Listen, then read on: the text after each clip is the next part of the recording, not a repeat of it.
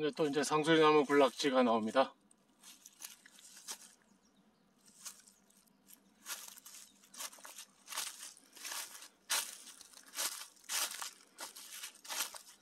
생강나무꽃.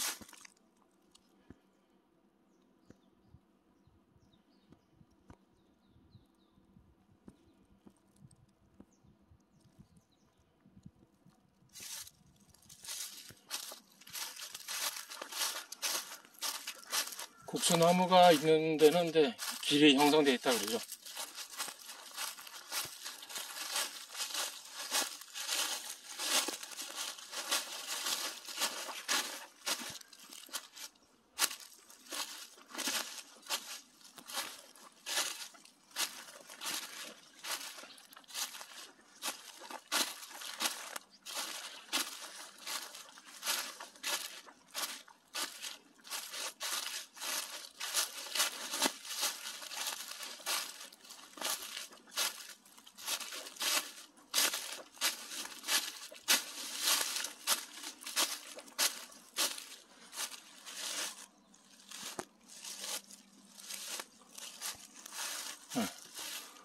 여기 이제 상수리 나무하고 또 송수리 나무.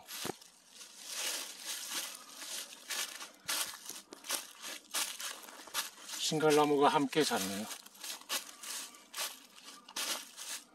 이건 뭐, 어, 이건 신갈나무가 아니라 파뼈나무죠.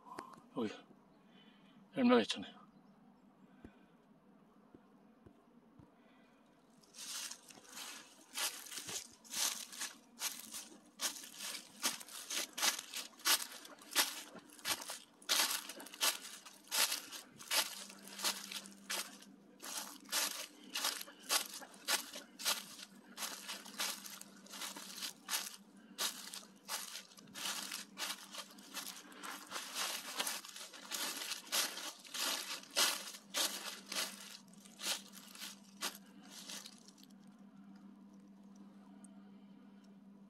능선으로 빨리 올라가야 되겠네요.